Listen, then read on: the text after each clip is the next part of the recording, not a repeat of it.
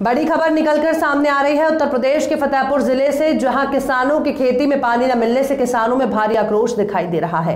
बताया जा रहा है कि सन उन्नीस सौ अड़सठ में उत्तर प्रदेश सरकार की योजनाओं के अंतर्गत किसानों की खेती में सिंचाई के लिए केनाल नलकूप सरकार ने लगवाया था, जहाँ सरकारी कर्मचारी की नियुक्ति रहती है। एक नहीं दो दो कर्मचारी रहते हुए न तो केनाल नलकूप में सफ़ाई व्यवस्था है और न ही पेयजल की व्यवस्था अभी तक कराई गई। और उधर किसानों की बात करें तो उनका कहना है की लगभग दो महीने से पानी खेतों में नहीं मिला और इस समय धान की रोपाई चल रही है, जो पानी के बिना नहीं हो सकती। तो ये बड़ी खबर हम आपको दिखा रहे हैं। सबसे बड़ी बात यह है कि वहाँ तैनात कर्मचारी के लिए कोई रहने की व्यवस्था भी नहीं है। वहीं हमारी यूएफटी न्यूज़ की टीम से संवाददाता राजेश गौतम ने किसानों से बातचीत की, जहाँ किसानों ने मीडिया से अपना दर्द बयां किया। देखिए राजेश गौतम की ग्राउंड रिपोर्ट ज़ीरो। ये कौन सा गाँव है भैया? गला था गला था यहाँ आप लोग किसान हैं? हाँ किसान है क्या समस्या है किसानों को? यहाँ समय पानी की? पानी की समस्या है। लगभग कितने दिनों से? कम से कम दो महीने से तो बिल्कुल चली ही नहीं। अच्छा। और बीच बीच में कभी पंद्रह दिन के लिए चल गई कभी महीना भर के लिए चल गई। ये पहले वह समस्या रही है। काम भी हो गया हुन लेवा के गए हुन पाइप तक न देने। बातचीत न करें। तो है पाछे। तो हमने कहा बेकार हमने यहाँ बटाई खेती करते थे उसको ढील दिया। यो तो इतना ठेके में हो तो हो नहीं तो कहीं चच्चू नहीं पास बतू हमसे यहाँ नहीं कहा की पैसा दो मिल गया तो सीख कितने दिनों से पानी नहर में नहीं आ रहा है? अब ये तो पानी तो बताया ना कि आपसे कि कभी पंद्रह दिन के लिए मिल जाता है कभी दो महीने के लिए बिगड़ गई। कभी यहाँ कोई कर्मचारी है।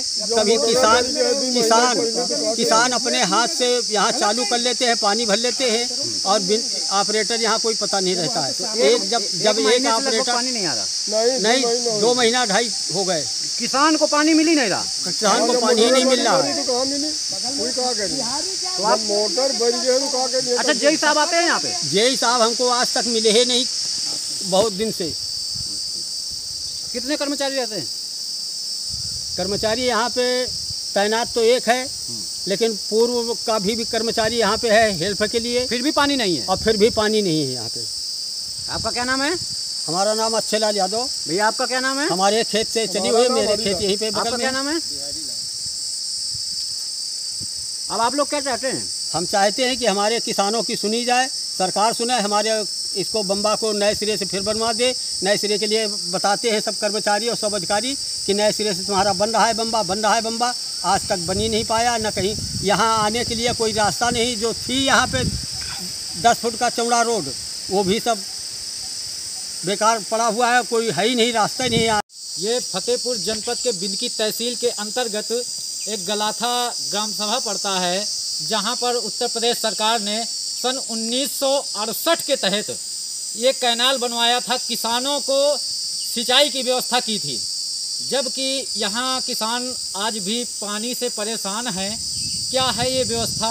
हमारे साथ बहुत ऐसे किसान हैं ग्राम सभा के, जहाँ पर किसानों ने जो है आवाज़ उठाई है और ये किसान अपने घोर समस्या बता रहे हैं। इनमें भारी आक्रोश दिखाई दे रहा है और किसानों के प्रति देखा जाए तो इनकी फ़सलें जो है सूख रही हैं जबकि आप इस समय धान रोपाई का भी समय आ गया और धान रोपाई भी किसानों की नहीं हो पा रही है पानी के कारण।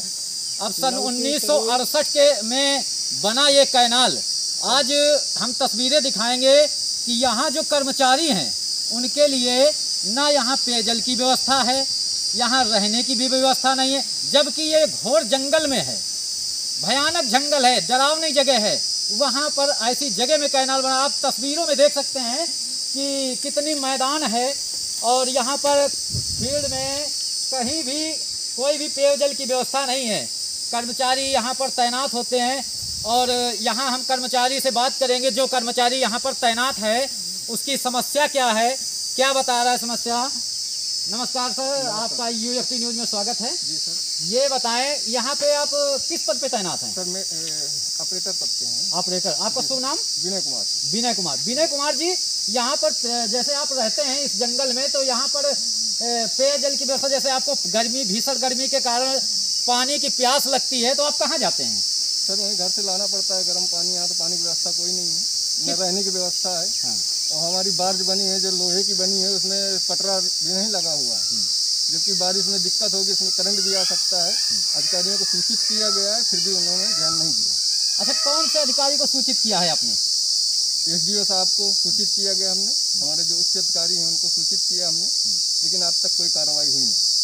तो आप रहने रहते कहाँ हैं यहाँ पे? किराए के मकान में रहते हैं किराए के मकान में रहते हैं। दो किलोमीटर दूर है। दो किलोमीटर दूर है। जी सर। लेकिन जब पानी गर्मी के कारण पानी आपको प्यास लगती है तो पानी आप कितनी दूर से लाते हैं लगभग? सर वो भी दो किलोमीटर गाँव से ही लाना पड़ता है ना पानी सर। दो किलोमीटर दूर। जी सर। और तो आपकी ड्यूटी कितने दिन कितने घंटे की है? सर यहाँ चौबीस घंटे का हमको बोल रखा है कि चौबीस घंटे जबकि चौबीस घंटे की नहीं है सर। अच्छा चौबीस घंटे की यहाँ रहना पड़ेगा आपको चौबीस घंटा ऐसे हमारे उच्च अधिकारियों ने कहा है। अच्छा यहाँ कितने लोग रहते हैं? सर हम दो लोग रहते हैं। दो लोग? जी सर। इस विषय में किसी ने ध्यान नहीं कोई अधिकारी कर्मचारी यहाँ आया? यहाँ कर्मचारी कोई नहीं आया। तो इन पंजे कहा करें जब मोटर भरी तो आवत है लौटी जाते पंजे तो हम ही पंजे चढ़ावत हमारे अच्छा अच्छा। और क्या? अब देखिए यहाँ पे साफ़ सफ़ाई को लेकर हम आपको घना जंगल दिखाएँगे कैसे ये घना जंगल है। और उस नहर पर भी ले चलेंगे। जिस नहर पर सूखी नहर है इधर हम अपने कैमरामैन से नहर की तरफ़ कोई की बात तस्वीरें दिखाएँगे। आइए मेरे साथ। जहाँ पे नहर सूखी है और पानी नहीं आ रहा है, एक महीने के ऊपर हो गए। ये नहर है। ये हम अपने तस्वीरों में आप देख सकते हैं, ये नहर जहाँ पर एक भी पानी नहीं है और घना जंगल है। जहाँ पे साफ़ सफ़ाई को लेकर ये जंगल इतना खड़ा किया गया है और यहाँ पर सफ़ाई भी नहीं हुई है। उधर की तस्वीरें लेना है उधर सफ़ाई भी नहीं हुई है। यहाँ किसानों में भारी आक्रोश है। आइए हम और किसानों से बात करते हैं। पूछ करके। इधर तस्वीरें ले लो ये ये बम्बा की पोजीशन है। ये है घना जंगल। ये घना जंगल है जहाँ पे कोई सफ़ाई की व्यवस्था नहीं है। अब आप देख सकते हैं ऐसे घने जंगल में अगर कोई कर्मचारी रहता है तो भयानक डरावनी जगह है ये। रात में अगर कोई भी जानवर हो या कोई जीव हो हमला कर दे तो उसकी जान की आफत आ जाती है। कर्मचारी अपने जान पे खेल कर इस जंगल में रहता है और हम यहाँ पर ना पानी की व्यवस्था ना यहाँ पर कोई ऐसी चीज़ नहीं है जहाँ पे यहाँ पे व्यवस्था की जाए। जबकि आज लगभग सन उन्नीस सौ अड़सठ की बात है यहाँ के ग्रामीणों का कहना है कि 1968 में ये बनवाया गया था लेकिन फिर भी आज कई सालों से यहाँ पर ये साफ़ सफ़ाई की व्यवस्था नहीं। आप ये देख सकते हैं यहाँ पर कोई भी पानी नहीं है। आप देख सकते हैं तस्वीरों में तस्वीरों में आप देख सकते हैं यहाँ पर एक भी पानी नहीं है किसानों की किल्लती के कारण किसानों में भारी आक्रोश है। आइए इधर आइए। ये जगह है फतेहपुर जनपद के देवमई विकास खंड के अंतर्गत आता है ग्राम गला ग्राम गला था जहाँ पर दो कर्मचारी भी हैं एक कर्मचारी